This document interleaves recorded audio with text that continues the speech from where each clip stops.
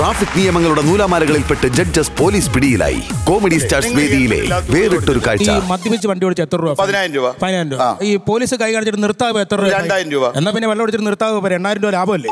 അല്ലേ? Comedy stars season two. ഇന്ന് രാത്രി ഒൻപത് പതിനഞ്ചിന് ഏഷ്യാനെറ്റിലും പിന്നെ എപ്പോഴും ഹോട്ട്സ്റ്റാറിലും.